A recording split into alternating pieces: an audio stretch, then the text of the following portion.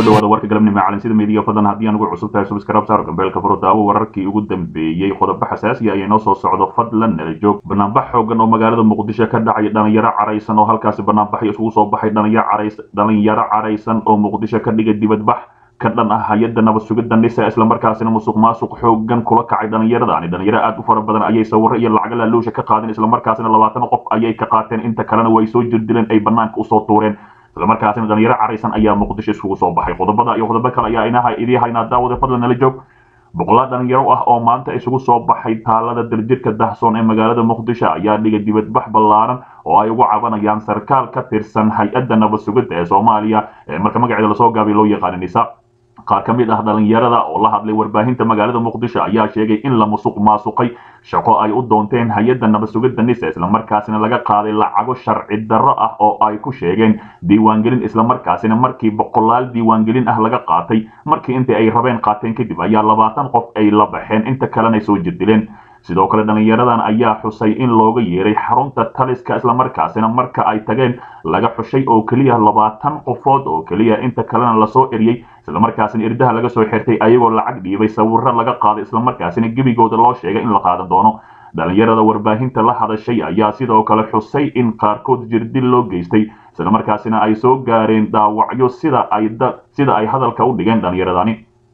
waxaa kale oo ay intaasi ku dareen in muddo dheer la meermeerinayay islamarkaasina laga qaaday sawiro iyo dukumentiyo kale islamarkaasina la yidhi waani la siinayaa shaqada oo halkaani ku soo laabta markasta ugu dambayntii waxa ay ugu baaqeen madaxda sarsare ee dalka farmaajo iyo khayre in dowladda soomaaliya inay soo farageliso arrintooda si wax loogu qabto cadaalad darrada ka jirta nabad sugidda ama hay'adda nabad sugidda ee nisa islamarkaasina boqolaal kun oo lacagay aruursatay maadaama dhallinyaradani oo aad u fara badan calaa qof lacaga aad u fara badan laga qaaday diiwaangelintii ayaa lacag ah sawiradii ayaa lacag ah ballamaha qaarkoodna lacag ayay ku galayeen islamarkaasina markii lacagaha ay aruursadeen dhammaantood ayaa labaatan keliya laga qaatay. Intii kale markii ay diideen ay yidhaahdeen maxaa lacagta nooga qaadeen? Oo aad sawirada nooga qaadeen haddii aadan shaqadana siinaynaha qaarkood waaba la jir dilay banaanaha ayaa loo soo tuuray. Dhinaca kale aabbaha dhalay ilhaan cumar oo u geeriyooday caabuqa sagaal iyo toban allaha u naxariistee ilhaan cumar oo ka tirsan golaha koongareeska dalkaasi maraykanka ayaa shaacisay inuu aabaheed u geeriyooday cudurka safmareenka ee caabuqa sagaal iyo toban kaas oo fara ba'an ku hayo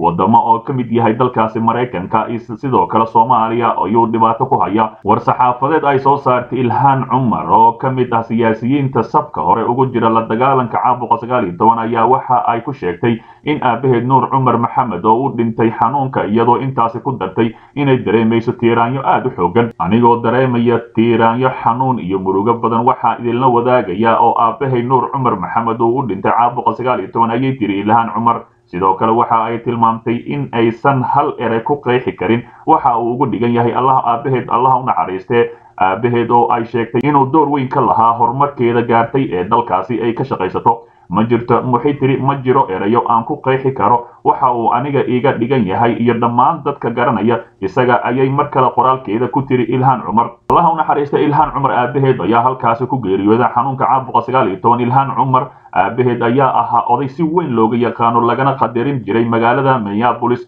wuxuuna ka mid ahaa jameecada masjidka rawda halkaasi oo ku dukan jiray mar kasta sannadkii kun sagaal boqol sagaashan iyo shantii ayay qaxooti ahaan ku tageen dalkaasi maraykanka iyada iyo aabaheed kadib markii ay soomaaliya uga tageen dagaaladii sokeeye. Halkaasi ay waxbarashadeedii kadibna ee maanta heerkii ugu sarrayso ay taagan tahay. Intaasi waxa ay gaarsiiyey ayay tiri aabbahay allah u naxariiste. Dhinaca kale weerar culus oo lagu qaaday saldhig ciidamada jabuuti ay ku leeyihiin duleedka magaalada beledweyne dagaalyahano ka tirsan ururka al-shabaab ayaa xalay fiidkii weerar madaafiic ah ku qaaday saldhig ciidamada amisom gaar ahaan kuwa ka socda dalka jabuuti ku leeyihiin xaafadda howlwadaag halkaasina lagu weeraray. Ciidamada amisom ee ku sugnaa xerada madaafiicda al-shabaab ku weerartay ayaa dhankooda ku jawaabay madaafiic culus waxaana xalay cabsi ahi la soo darist ama la soo daristay dadka ku dhaqan magaalada beledweyne gaar ahaan xaafadda howlwadaag madaafiic al-shabaab iyo ciidamada jabuuti isweydaarsadeen ayaa la ogeyn weli khasaaraha ka dhashay dadka ku dhaqan magaalada beledweyne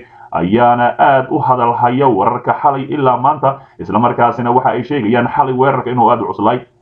Ciidamada jabuuti ayaa saaka ku baxay howlgallo ka sameeyey aagga weerarka lagu soo qaaday mana jirto ilaa iyo hadda wax war ah oo ka soo baxay taliska amisom iyo maamulka magaalada beledweyne oo ku aadan weerarkii madaafiicda ahaa xilliyadii u dambeeyey magaalada beledweyne ayaa aad u deganaa islamarkaasina wax weerar ah ma aysan ka dhicin maadaama ciidamada jabuuti ee afarta dhinac ka degan yihiin hase ahaatee al-shabaab ayaa halkaasi marnaba wax dhibaato ah ka geynin. Laakiin maalmihii u dambeeyey ayaa la sheegayey qalaaso ka dhan ahi dowladda maamulka hirshabelle islamarkaasina banaanbaxyo lagu taageerayey madaxweyne farmaajo ra'iisul wasaare kheyr halkaasi ay ka dhigeen kadib markii booliska ay diideen. Xalay saakay ayaa ahayd markii aan tibinay wararka sheegaya in taliyihii booliska ee diiday banaanbixii loogu yeeray magaalada muqdisho islamarkaasina macquul ay tahay in xilka laga qaado waxaa gebi ahaanba xiriirka u jiray maamulka hirshabelle dowladda federaalk soomaaliya islamarkaasina khilaaf xoogan ayaa soo gala dhex galay maadaama madaxweynaha hirshabelle maxamed cabdi waare oo la saftay aqalka sare oo si weyn iskaga soo horjeedaan islamarkaasina macquul ay tahay inuu ku biiray saaxiibadiisii hore axmed madoobe iyo dani hase ahaatee dowladda federaalk soomaaliya ayaa macquul ay tahay inay qalalaaso ku abuurto magaalada beledweyne oo in muddo ah xasiloon islamarkaasina dhibaato bila-aadinimo haysata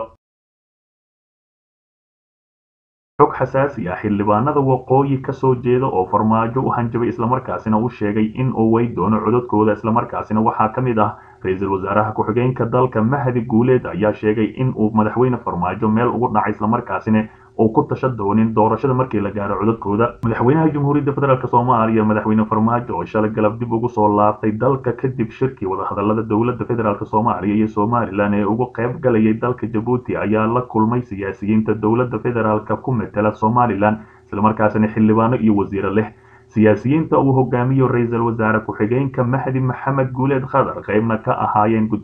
ka ahaayeen guddoomiyaha maxkamadda sare baashe yuusuf axmed wasiirka maaliyadda cabdiraxmaan duceele bayle wasiir iidaan iyo mas'uuliyiin kale oo sarsare. Xubnaha ayaa madaxweynaha aad ugu dhaliilay islamarkaasina kulankaasi ku weydiiyey sababta uusan uga qayb gelin wadahadalada somalilan iyo soomaaliya maadaama ay iyagu matalaan. Somalilan kulankana looga hadlayay masiirka gobollada ay ka soo jeedaan. Dadka iminka federaalka ku jira islamarkaasina qayb ahaan ka soo jeeda somalilan. Mas'uul kulankaasi ka qayb gali ayaa calansida media u sheegay in mas'uuliyiinta shaki geliyeen inay madaxweynaha taageeri doonaan doorashada soo foodle islamarkaasina soo socota madaxweyne.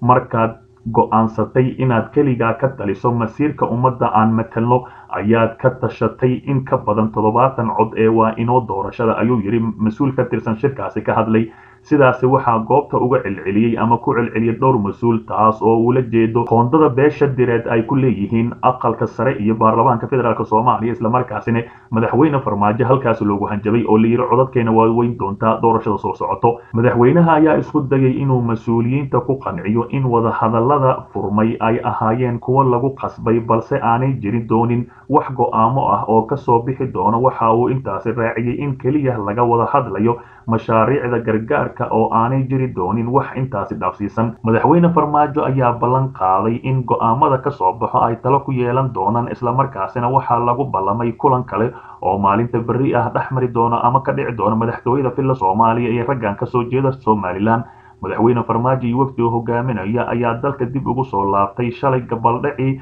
waxaana wafdiga madaxweyne farmaajo ee wadahadalkaasi ku matalayay dowladda federaalk qayb ka ahaa ra'iisul wasaaraha xasan cali khayre oo haatan ku haray dalkaasi jabuuti islamarkaasina ka qayb ah islamarkaasina ka qayb ah guddiga ra'iisul wasaare khayre ayaa korjoogteyn doona wadahadalada ay si ambaqaadayaan guddiga ka kala socda somalilan iyo soomaaliya oo shalay labada dhinac ay kala magacaabeen. Si kastaba ha ahaatee khilaafkan iminka wasiirada iyo xildhibaanada soo kala dhexgalay madaxweyne farmaajo ayaana la ogeyn meesha oo ku dambeyn doona islamarkaasina qayb dhan ayuu weyn doonaa madaxweyne farmaajo islamarkaasina codadka dadka xildhibaanada matala oo aqalka sare iyo baarlamaanka federaalk soomaaliya ayuu weyn doonaa madaxweyne farmaajo. Dhinaca kale taliyo joojiye banaanbax lagu taageeri lahaa madaxweyne farmaajo oo loo yeeray islamarkaasina si deg dega lagu yidhi waa inaad imaataa muqdisho. Warar lagu kalsoonaan karo oo aan helnay ayaa sheegaya in taliska guud ee booliiska federaalk soomaaliya ay magaalada muqdisho ugu yeereen inuu yimaado taliyaha qaybta booliiska gobolka hiiraan korneel cali dhuux cabdi mahad alle taliya cali dhuux mahad alle iyo saraakiil kale oo ka tirsan booliiska soomaaliya oo ku sugnaa magaalada beledweyne ayaa soo gaaray magaalada muqdisho kadib markii lagu amray inuu yimaado halkaasi sida aan wararka ku helayna taliyaha ayaa wax laga weydiin doonaa sababta keentay in ishortaago ama is-hortaag ku sameeyo banaanbax ay bulshada beledweyne abaabuleen oo lagu taageeri lahaa madaxweynaha soomaaliya maxamed cabdilaahi maxamed farmaajo. Taliyaha iyo saraakiil kale oo ka hoos shaqaynayay ayaa xoog ku joojiyey banaanbax lagu taageerayay ama lagu taageeri rabay madaxweynaha soomaaliya maxamed cabdilaahi farmaajo waxa ayna saraakiishani si cad u sheegeen in banaanbax aan laga dhigi karin magaalada beledweyne islamarkaasina ay macquul tahay inay amar ka qaataan waaxda booliska lama oga taliska booliiska soomaaliya tallaabada ay ka qaadi doonaan saraakiisha oo fulinayay amarka madaxda hirshabelle oo ka hor yimid in magaalada beledweyne laga dhigo banaanbax dowladda federaalk gaar ahaan madaxweynaha lagu taageeri lahaa islamarkaasina gebi ahaanba magaalada beledweyne aan la yiri laguma taageeri karo banaanbax halkaasi ka dhan ahi. Si kastaba ha ahaatee lama ogaan karo in taliya ay xilka ka qaadi doonaan iyo in digniin culus la soo sii doono